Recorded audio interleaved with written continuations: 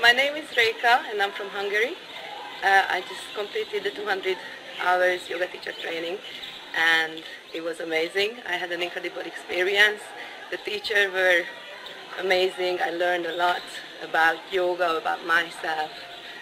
And the people I shared this journey with were also amazing, wonderful human beings. And yeah, I'm just really grateful with all my heart to have the opportunity to be here.